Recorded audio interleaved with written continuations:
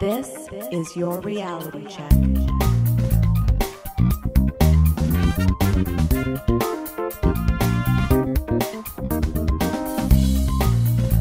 Welcome to The Reality Check, the weekly Canadian show that explores a wide range of controversies and curiosities using science and critical thinking. Today is August 22nd, 2020. I'm producer Pat, and with me is Cristina Roach. Hey everyone. Darren and Adam continue to record from isolation. We have three interesting segments for you today. Darren is going to give us some things to consider when asked for donations at the checkout. Adam asks the question Is Donald Trump sabotaging the U.S. Postal Service to steal the election? But first, Cristina, should I trust online reviews? Hmm, it's a good question, Pat. Since we've been stuck at home for weeks in 2020 because of a pandemic, I assumed that online shopping sales, well, probably gone up. And when I looked into it, I was admittedly a bit surprised by the stats. Here in Canada, online shopping doubled during the pandemic. Wow. A CBC article from July cited a new report from Stats Canada that found although total retail sales fell by 17.9% between February and May, online sales swelled by 99.3%. In fact, Stats Canada reports that e commerce sales hit a record $3.9 billion in May, which is a 2.3 increase over the month of April and a 99.3% increase, as I mentioned, over February. Does that surprise you at all, Pat? I guess not. I think people are probably doing a lot of online buying. Maybe the, the scope at, at Yes. 90 some odd percent. Yeah. yeah. Coincidentally, an interesting headline caught my eye around the same time from TED Ideas. Use online reviews to decide what to buy? Here's why not to put all your trust in them. As Pat can confirm, I do a lot of research before landing on a purchase. All I can think about is our patio furniture. Yes. weeks. weeks. Yes, Pat actually asked me, "Why are you we don't we're not going to get this furniture, you know, for a few months." And yeah, that's that's how I roll. I do rely on online reviews, but I've learned to be pretty discerning. I look to non-partial outlets like Consumer Reports, and I take reviews on Amazon with a grain of salt. I like to read the top best reviews and the top worst reviews, which can be quite telling, and I've definitely been influenced away from a purchase by a top worst review. Behavioral scientist Bart de Langhe tells us online user reviews don't really match up with performance reviews. And when I read this, I thought of recipe reviews. It drives me bananas when I see people giving a recipe four or five stars and then I go read the comments and the comments are, wow, this looks good. Can't wait to make it. Hmm. Okay, I digress. Back to online shopping. I personally get overwhelmed when online shopping, but obviously you can't argue its convenience, even when it feels like the wild, wild west. And without seeing something in person or trying on a clothing purchase, it makes sense that we turn to crowdsourced ratings to help us make decisions. The problem is that online reviews are often nothing more than smoke and mirrors. Forbes writer Christopher Elliott says straight up, You'll ask, should I trust online reviews? Answer, no, you should not trust online reviews. They can't be that good, you say, and you'd be correct. I should add that Christopher Elliott is the founder of Elliott Advocacy. It's a nonprofit organization that empowers consumers to solve their problems and help those who can't. So he's in this pretty deep. Now back to Bart de Langhe. He tells a story of shopping for a car seat for his newborn. The sales rep highly recommended a $300 known brand car seat versus an unknown brand priced at 50 bucks. When he checked reviews on his phone, it seemed like the $300 one was rated highly enough, so that's the car seat he bought. Much to his dismay, he later learned Consumer Reports had tested car seats and the $300 one had a significantly worse crash protection score and ease of use score than the $50 seat. So I guess in some cases, reviews wouldn't be that life changing, but in this case, you would want to know if a car seat's safety ratings were good or not, right? For sure, yeah. Now, there's probably a minimum standard that they all have to. Well, there is a minimum standard that they all have to meet, but you'd want For the, sure. you'd want the safer one Right. if you could get it. Yes. This inspired him to conduct a large scale analysis with colleagues at the University of Colorado, comparing online reviews versus actual performance reviews. Now, their study was published in the Journal of Consumer Research, by the way. They objectively assessed 1,272 products in 120 categories, and this ran the gamut from car seats to bike helmets to headphones, blood pressure monitors, etc. This is what he told Science Daily, quote, The likelihood that an item with a higher user rating performs objectively better than an item with a lower user rating is only 57%. A correspondence of 50% would be random, so user ratings provide very little insight about objective product performance. Hmm. During a TED Talk, he said there are many products that get high ratings but perform poorly, and there are many products that get low ratings but perform very well. de Langhe explains a truly random sampling would likely give rise to more three star reviews. Makes sense, right? That the small subset who have the most positive and negative experiences are more apt to leave five or one star reviews, or negative one star reviews, I should say. Plus, people are swayed by various factors like packaging and that kind of stuff. He reminds us that, quote, you should realize that the ratings out there come from a small and biased subset of imperfect people who evaluate products in imperfect conditions. Okay, so then there's a problem of straight up fake reviews. Forbes contributor Elliott, who I mentioned earlier, interviewed Saoud Khalifah, founder and CEO of FakeSpot, which flags fake reviews. I hadn't heard of FakeSpot before. Have Have you ever heard of it, Pat? I've never heard of them, but I, I do know what a brushing scam is. Right. well, I grabbed the Chrome extension to try it out, so uh, I'll, I'll report back on that in future. Says Khalifah, companies constantly plant positive reviews of their own products and sully competitors' products with negative reviews. He says that up to 70% of Amazon reviews are not real. That's a lot. That is a lot. FakeSpot works by analyzing hundreds of thousands of reviews. It looks at dates, grammar, purchasing patterns, and it spits out a grade that tips you off to a bogus review. Elliott mentions as an aside that when FakeSpot flags a review, Amazon has sometimes revised the page and clamped down on ratings. I mentioned headphones as an example earlier. FakeSpot says that every kind of headset, whether they are wired, wireless, has phony product reviews. I'm sure you guys have seen those ads that pop up with glowing reviews for knockoffs of popular products. He cautions to be totally skeptical of well known brand knockoffs that have five star reviews and comments lauding how amazing they are. Khalifah says the safest bet is to go for name brand headsets. I personally would add in here to try and check out consumer reports or like minded non biased outlets for reviews, but for me, that applies to pretty much anything, especially a big purchase. One particular bogus knockoff fitness tracker on Amazon had 93% positive reviews, with reviewers raving about the quality and how similar it is to a well known and established brand, Fitbit. Elliott says FakeSpot's algorithm had a quote hissy fit, and Khalifah reminds us that these types of ratings are designed to deceive us. I was so curious, so I went to check out the Amazon Australia link, Pat, in the article for this fitness tracker. Currently, it has only 46 reviews at that link, with an average 3.4 star rating. 48% were five stars, 30% were one star, which seems more reasonable. I have to read the top critical review because I literally laughed out loud. Silly me. Ended up purchasing two of these fitness trackers, certainly learnt my lesson the hard way. Unfortunately, this product had me doing over 3,000 steps before I even got out of bed. On a positive note, it prompted me to buy a Fitbit 2 Charge. Wouldn't recommend this item at all, but the Fitbit 2 Charge, totally amazing. Now, if any of you are sneakerheads like me, or you have kids who have sneaker shrines, you've probably guessed that the Air Jordans on Amazon that are listed for $64 with a description of 100% authentic is complete BS. Mm-hmm. FakeSpot was able to tag them as knockoffs and flag the ratings as bogus. The original link to that product now leads you to an Amazon page not found with a dog named Roro. Very cute, Amazon. And it's not just Amazon, obviously. Buyer beware everywhere. Cosmetics is definitely one area where fake reviews proliferate. I've covered beauty products, cosmetics in the past. Recently, there was a big controversy over a pricey and beloved brand called Sunday Riley when it was leaked that employees were prompted, one of them used the word forced actually, to write fake reviews on Sephora's site. Now, this was a huge headache for Sephora, a multinational chain of personal and beauty products, because they pride themselves on objective reviews from consumers. But Sunday Riley owned up. I mean, they had to, employees had receipts. The Federal Trade Commission jumped in here and investigated, and get this.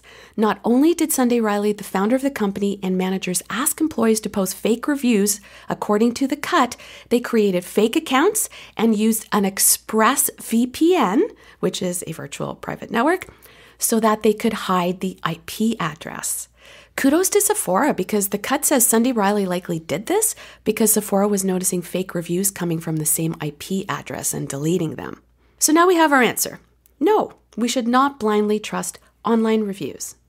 Don't feel bad if you've been fooled in the past, we all have. These tricksters are pretty crafty. But this should give us some consolation that we can stop, as de Langhe says, obsessing over reviews. And although companies are trying hard to do their best to keep fake reviews at bay, Khalifah says it's almost impossible to do that in real time. Sellers create multiple accounts and seed fake five star reviews in a very short time span. So by the time they're flagged as bogus, the damage is already done to your pocketbook. As we say regularly on TRC, if it sounds too good to be true, it probably is. Indeed. And as Elan used to say, feel free to leave us a five star review on Apple Yes. Podcasts. Thanks for that, Cristina. And with that, we will turn things over to Adam and Darren. I hope everyone out there is staying safe, and we will talk to you soon. Stay safe, stay classy, not smart assy.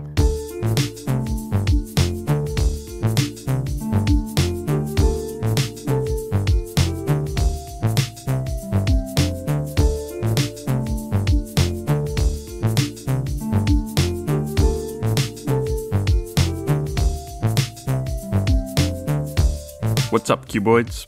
If you've been using the same internet as I have, you've probably heard about the latest political controversy involving none other than the US Post Office. Who would have thought that in 2020 the post office would be a politically charged topic along the lines of things like climate change, abortion, and wearing masks? I'd seen my share of memes and articles fly around about the topic, but then I saw people talking about how the post office conspiracies were going on, and this made me wonder which parts of this story are meant to be fake here? Some of them? All of them? What's going on? So, a bit of a caveat. Now, this is a recent and constantly evolving controversy. As such, something that I cover today might become outdated by the time this hits your ears.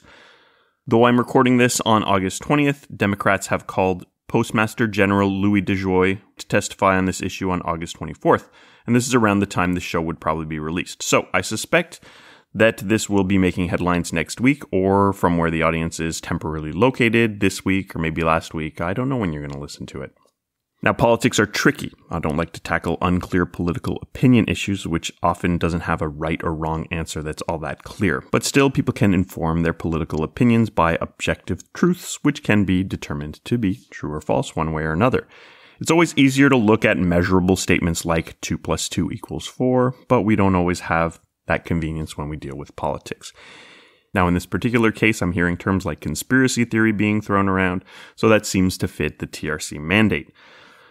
Are we hearing things which are true or false? There may not be a perfect answer, but I want to look at some of the facts here. So, what's all this about? So, the idea, broadly speaking, is that Donald Trump, the current president of the United States, is trying to undermine, sabotage, or limit the functions of the U.S. Post Office in order to negatively affect mail in voting. More specifically, the accusation is that Postmaster General Louis DeJoy is in league with Donald Trump and abusing of his power to undermine the post office's efficiency leading up to the election. Now, right off, there are some things you have probably seen online which are not true. They are false. So there are photos or statements which might suggest that the US Postal Service is being attacked, which are not as they might seem. For example, a photo of a truck hauling away mailboxes may be widely shared as evidence that right before our very eyes, mailboxes are being whisked away in a blatant attack on the Postal Service. And the real story may be more mundane. Mail collection boxes are regularly removed and replaced when they are rusted or have graffiti on them or for any number of reasons. They are sometimes relocated as delivery routes are adjusted. Since October, blue mailboxes have been removed and replaced with newer boxes with narrower slots, which encourages people to place only letter mail in the mail drop box, which is their intended use. So it's a big country with a lot of mailboxes. So much like we're seeing photos of supposedly staged piles of bricks throughout cities in the US where there are protests, there may be instances where mailboxes are moved, removed or on the back of trucks, and this doesn't mean that they are being systematically removed as part of a conspiracy to stop the mail from being delivered. Beyond this, we also have some of these photos which aren't actually from the time or place mentioned. Like when we talked about rainforest photos a while back, we may be seeing photos of piles of old mailboxes that are many years old, and then they're described as something being more recent. Something sinister going on there. Snopes has a decent breakdown on their page. Is USPS purposefully slowing mail to help re-elect Trump? So a lot of my coverage will come from that. Their conclusion is that the statement is unproven, which I think is a decent take. It is not proven that this is what's going on, but we also can't discount this enough to say that it is flat out false. So they have unproven. That's their category. As background, Donald Trump has publicly denounced mail in voting, even though he's actually voted in mail in voting in the past. Verified true by Snopes, he's voted by mail in at least three elections. He is pushing a narrative that mail in voting will lead to voter fraud. Analysis has shown that this is unlikely, but that's a whole other issue and another segment I've got enough to talk about today. The idea seems to be that Democrats would be more likely to vote by mail in the 2020 election. This is hard to measure. So, by negatively impacting the post office, this would theoretically increase Donald Trump's chances of winning. Now, is this assumption justified? In past elections, there have actually been more Republican than Democratic voters who voted by mail.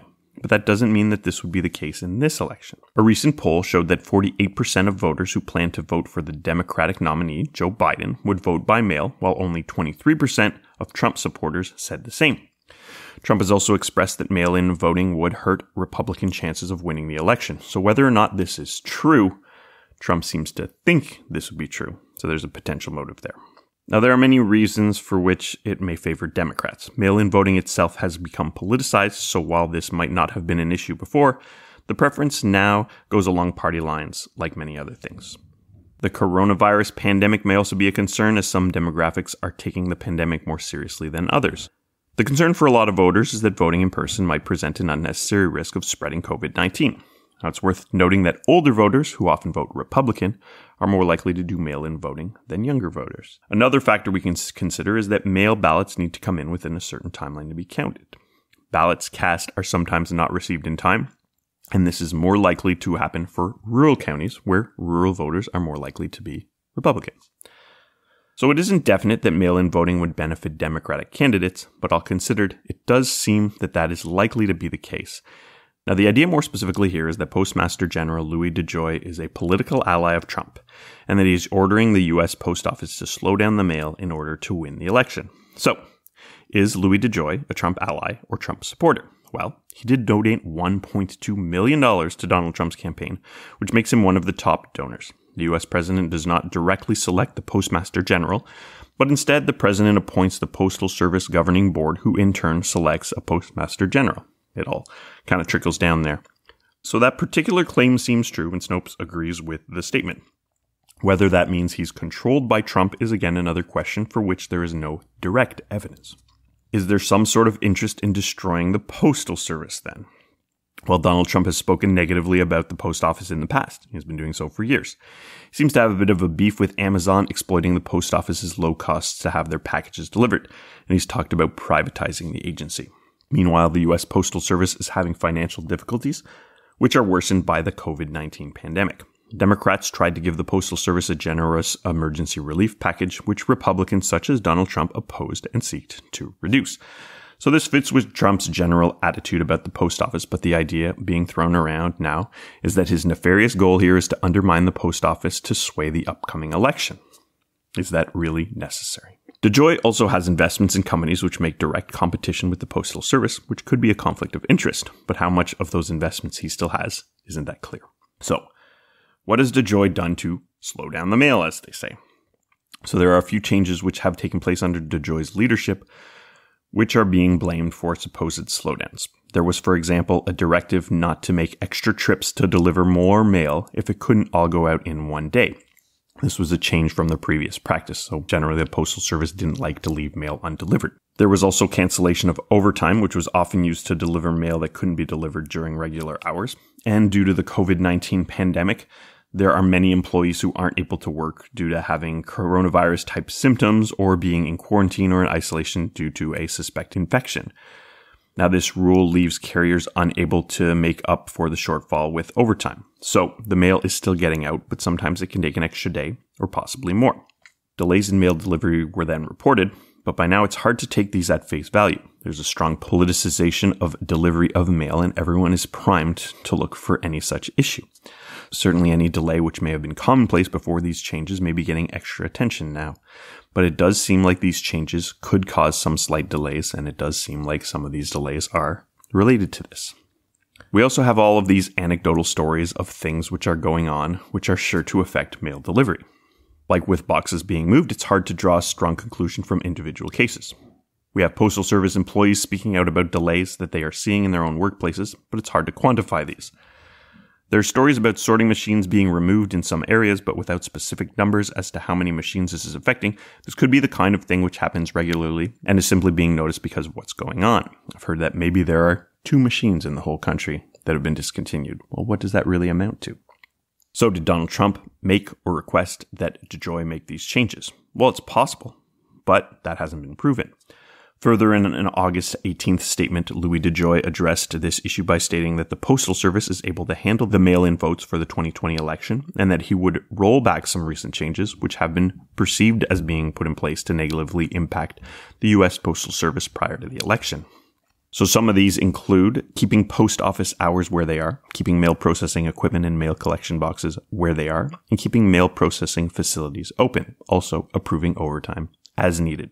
So it's a little open ended, but the idea is that there would be some overtime that's approved. So at least publicly, it seems that DeJoy appears to be doing his best to keep the U.S. Postal Service running. That makes sense. That is his job after all. Unfortunately, we don't have any definitive answers as to any deliberate meddling.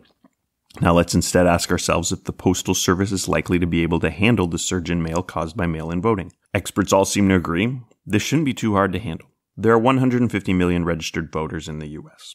Seems like a lot of people. So if every single one of them voted by mail, this isn't likely to happen, that would mean 150 million more pieces of mail. So how does that compare to the usual flow of mail? Well, the Postal Service processes nearly 500 million pieces of mail a day. So in one day, that's over three times the number of registered voters. And mail in votes would not all show up in the same day. By comparison, the week before Christmas usually sees over 3 billion pieces of mail. That's 20 times the increase that would be seen if every registered voter voted by mail within one week. Surely a disruption to mail delivery could impact this, but it would need to be quite a disruption to incapacitate the Postal Service to the point where it couldn't handle that mail. The Postal Service generally recommends mail in ballots to be sent in 15 days prior to Election Day, though many states allow voters to cast ballots later. As a result, on election day, the votes may not have been tallied yet, so the final election numbers might come sometime later after the election day. So imagine a seeming victory being given to Donald Trump, only to have updated numbers come in a week later. Do you think he would accept those results? So we don't have any definitive answers here. It's possible that US President Donald Trump, thinking that mail in voting will hurt him, is encouraging one of his supporters, the Postmaster General, to sabotage the post office to help his election prospects even if those efforts might not be making a difference in the election. There is no reliable evidence that this interference is happening. Despite what you may have been hearing consistently and repeatedly on social media, you should be skeptical of what you hear and see. And many of these messages may be misrepresented as single instances of delayed mail or interruptions to normal service cannot be taken on their own to represent the overall state of the US Postal Service. It is hard to get a big picture of exactly what's going on. So there is motive here. There's no question. The sort of conspiracy may seem plausible, but that doesn't mean it's much more than a conspiracy theory. For now, we can't be sure one way or another. Personally, I think this election will go very badly. I've been saying for years that if Donald Trump loses this election, he will argue that the results are somehow unfair and attempt to stay in power. I certainly hope I'm wrong on that point, and we will have to see what happens in the next few months with regards to the Postal Service. Peace out, cuboids.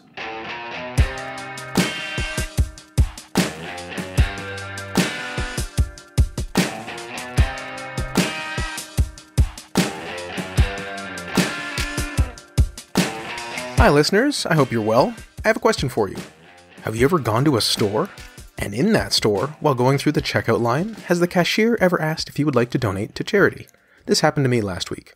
I've noticed this even happens in self checkout lines. You're trying to buy a package of donuts on sale and some protein powder for your macros, and the cashier says, Would you like to donate a dollar to the Human Fund? Well, now I'm not being entirely fair, as that's the fake charity George Costanza created on Seinfeld, but I wanted to highlight that often people may not know the charity being mentioned. Did you donate? Did you not? Why or why not? Now, whether you should or shouldn't is a personal choice, of course, but today's little segment will be about things to consider while making that choice. Let's begin. First, let's get a sense of scale of how often this happens and how much money is donated. From a How Stuff Works article linked in our show notes, trcpodcast.com, quote, According to a 2016 survey from Good Scout, 71% of US consumers have made a charitable donation at the register, and 55% actually like being asked to support a charity at checkout. In 2016, the top 73 checkout charity campaigns raised a total of about $440 million, a 4.5% increase from 2014. Alright, so almost half a billion dollars is a lot, and people seem to like it. Still with a quote, more importantly, 60% of respondents in the Good Scout survey said they felt positive about the company after being asked to donate at the register. Hmm. Most donations are under a dollar or two, and it seems many customers like being asked and don't harbor resentment towards the business for asking. I'm not one of them, full disclosure. So what's the problem? It's not so much a problem as a series of trade offs. When I make a donation, I like to get the tax deduction because that means I can donate more. For donations of a dollar, you don't get this anywhere. I'll admit I had the mistaken belief that the company receives the tax deduction, but at least in Canada, this is not true, as it is illegal. The second issue, more important, is that you're likely giving into a black box. Have you heard of this charity before? Do you know if they are effective? If you had any questions about it, it's not like the cashier is going to know the answers, so evaluation is basically impossible. As an effective altruist, why wouldn't I want to ensure that my donation is having the highest impact possible? You say it's only a dollar or 40 cents, so why does it matter? Well, that leads to issue number three. Humans are often bad at having emotions in proportion to certain events, like donations, but also large numbers of deaths, for example. If I tell you that 10,000 people died yesterday, you might feel bad in some way. Oh, but wait, sorry, I actually meant to say that 20,000 people died yesterday. Do you now feel twice as bad? No, probably not. This is sometimes called scope insensitivity. Similarly, if you feel you've done some good, that is often not proportional to how much good you've actually done. Donating $1 probably feels similar to donating 5 or $10. It's truly a shame of my physiology that I don't feel much different when I buy 500 bed nets or 1000 bed nets. I have to use cognitive effort to understand that it really does matter.